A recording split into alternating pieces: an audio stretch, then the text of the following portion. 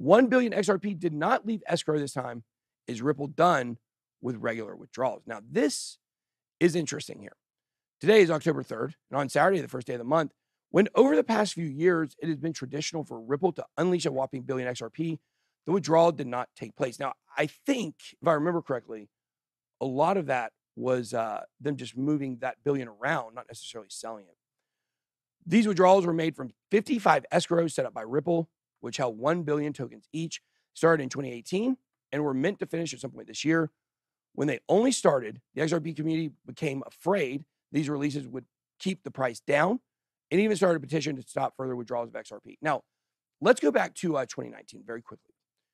2019, uh, Brad Garlinghouse says, I believe it was on a on a uh, CNN interview or something, that the company Ripple had to sell massive amounts of XRP in the bear market to remain profitable, and that pissed a lot of people off. Why? Because that affects the value of your bags if you hold them if they dump a, a bunch of it, even if it's for them to run for their business. But the interesting thing is, is that in a bear market, if you're holding all through it, does it really matter that much?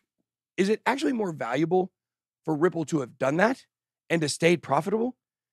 The short term loss from the last bear market that you had, was that as bad as what would happen if Ripple became unprofitable and had to start laying people off and cutting people and all that stuff?